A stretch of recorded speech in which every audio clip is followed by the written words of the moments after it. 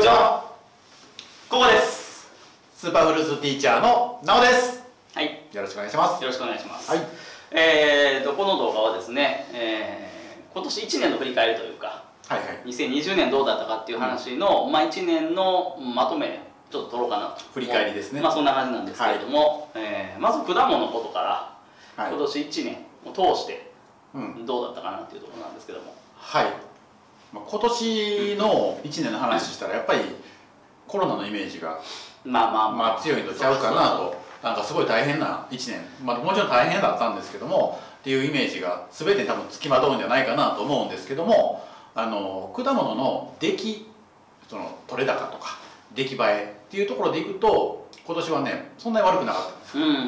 うん。っていうのもやっぱりあの梅雨がちゃんとあった。はいっていうところ、まあ、ちょっと若干あの降る時期はちょっとずれたのもあるんですけども、ちゃんと梅雨があった、というのと台風があのの被害が例年ほどそんなに強くなかっ大型っていうかねたそうですね。大型ではなかったあのすごい、えー過去最大級と言われたものが来たけど、あの若干それで九州の方になんかね。ね、取れてしまって、まあ、九州の一部の地域であのもしかしたらすごい被害があるかもしれないんですけどもそんなに大阪の市場に出てくる果物で、うん。あのもう甚大な被害があのあるというのは今年はなかったんですよ。だからその台風が、えー、がそれほど被害を与えなかったっていうのが今年は果物業界大きいかなと思っててあの、まあ、気候も順調にいってるんであの、まあ、天候が果物の邪魔をしなかった年っていううん。のが今年の印象かなと。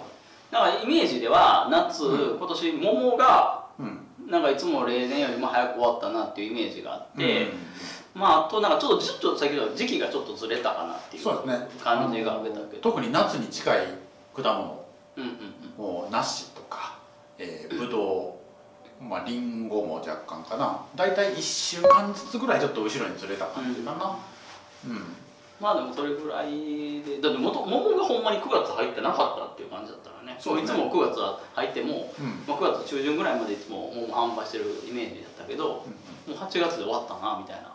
そうですね。うちの山口果物の契約農家さんも大体、まあ、1週間とは言わんけども、まあ、例年よりも数日早くうん終わりはったんで、まあ、全体的にちょっと後ろにずれて早く終わってる感じっていう感じですかね、まあそれがまあ全体出来が良かったみたいな感じだね、まあ言うても去年までがひどかったからね、だいぶまあ例年ずっと毎年ね災害クラスの台風だったりとか地震だったりとかなんかもういろんなことがあって去年はあの川の氾濫。うん、水害があ水害があってあのリンゴ農家さんが、ね、農場が水没したりとかそういうことがあったんでそれと比べると今年はすごいあの気気候的には順調にいった年かなっていうのが今年の印象ですかね。あとは、まあプライベートの話。うん。まあ振り返って1年。まあお互い健康ではいましたよね。そうですね、まあまあ。特に目立ったまあ病気もないとそもそも病院に行ってないんでねまあまあまあ、まあ、病院行ってないとまあまあまあ健康っていう意味なのかなっていうね。まあねあんまりそのコロナもあってあんまり病院とかも行かなかったのもあるかもしれんけど、うん。もう今年僕としてはあのー、2月に子供が生まれたのであそれが大きいニュースだったのとあとは12月にの頭に、えー、ちょっと交通事故に遭った。うんあったあった。自転車でこうねゆっくり越えてたら横からボンと車に来られてガガガってやられたっていうのが12月の頭にあったかなっていうところでしたね。ちょうどその直後に電話したもんね。そうそう仕事の電話仕事の用事で電話したら「ちょっと今事故したからちょっと後でして」って言われて。そうそうそうそう。まあどんだけ電話できるほどまあ無事で軽傷やったんでね。何もなかったんですけどはい。まあその辺もやっぱ注意せなあかんなっていうね事故がね、相手が悪いだけじゃなくてこっちの不注意もあるかもしれないんでねほんまにやっぱり気ぃつけないとねそうですね。もうね年も年なんで。えその辺どうやった、え？一だ一年は？今年いやだから病気せんかっただけしか言ってないから。もう病気せんかったかな。うん、それ以外のだからなんかイベント的な感じは何もなかった。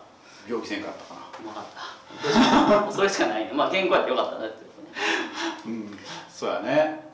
何やった？あとはお店かな。お店の振り返りとしてはまあねうん。なんかもうコロナの話ばっかりだろうね。だから新大阪がもうやっぱり駅的に大ダメージを受けたっていうところがあったのとうん良かったのがえっ、と11月。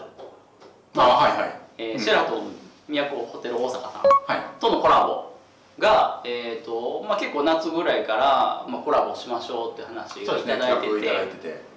結構打ち合わせしました。予定よりもだいぶ打ち合わせしたしそうですね。何回も試食を重ねてもうああでもないこうでもないって言いながらやって、で11月にね販売しようっていうことが決まったのが、まあ、10月の頭にプレスリリースという形で、うん。まあ、皆さんに、えーやりますよっていうのをやったにかかわらずもう販売前にはもう完売。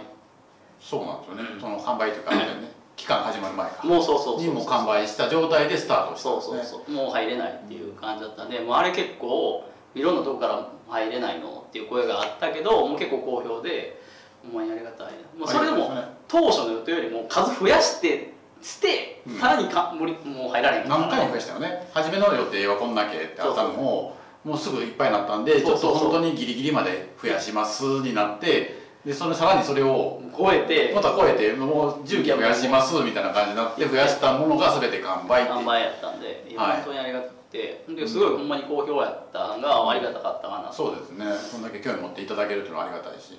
実際やってみてどうやったあのコラボって僕もっとあのまあ、ええ加減ならなんなんですけどあのあの監修って言ってるだけちゃうんって僕はあの思ったんですよ。そうやね。あのコンビニとかでもあるじゃないですか、そう。あの2人の関係でいうと結構あの外の仕事は僕が担当なので、まあ、シェラトンさんも僕があのメインで担当させてもらったんやけども、まああの打ち合わせ回数は本当に良かった。うん、僕もここまでコラボってここまでやるもんなんやっていうのがすごい、うん、それが印象かな。ここまでやるんやったら結構そのコラボってすごい値打ちあるというか、うん。うん、多分こんだけやったら楽しんでもらえたら嬉しいなっていうぐらいまあもちろんあの熱量がね結構お互いに高かったのが、うん。まあ良かったなっていうところでうんまあその結果しかもボンってね皆さんに喜んでいただける結果うん数もそうやし、うん。まああのレビューというかね内容もほんまに喜んでもらえたところが大きかったんで、まあ、そこはほんまにちょっと頑張ったんや仕入れも。だいぶ美味しいのをほんまに仕入れて、ですで向こうも、まあ、シェラトンさんもあのなんだろう本当にパティシエさんとかが作る製造のプロととこっちは素材を用意するプロ。僕らで作らないんでね。プロの本当にそのプロとプロのコラボができたっていうのがすごい僕の印象的かな。すごいいい形で商品になったなっていう印象ですかね。そうなんです、うん。まあこんなんまだねできたらいいなと思そうう感じですね。やりたいねこれは。うん。まあ、こんなとこですかね。楽しかった。はい。まあ、山口果物をね、えー知らないお客様にはシェラトンの話はなんやねんっていう話かもわからないんですけども。まあ本当にまたこういったところでのあの、イベントもまあできるだけ積極的に交流は、まあ、いろんなね今回のシェラトンさん以外でもちょっとなんかまあお互いいい意味でうん。いい商品が出せるようになればぜひやっていきたいなと。そうですね。うちはね素材屋さんなんでね果物屋っていうのは、まあうちも加工品は出してますけども、まあ、本業の果物屋っていうのは素材屋さんなんでうちを素材をいい素材供給してそれを生かしてこううん。形にしてくれるプロ、フェッショナルの方がいたらぜひまあねね連絡いただけたら、うん。私対応しますので。はい。はいそんなとこですかね。そうですね。はい。ではね。うんね、今年も。楽しかったですね、まあ、楽しかった。まあいろいろ大変だけど。いろいろとうんまあまあ楽しいだけじゃない。考えさせるられた年ではあったと思うので。ね。はい、そうんこは、まあ、大変な人もいてたから、まあ、楽しいだけじゃないですまあもちろんそうですけどね。はい。なところで。はい。はい。では皆様今年も1年ありがとうございました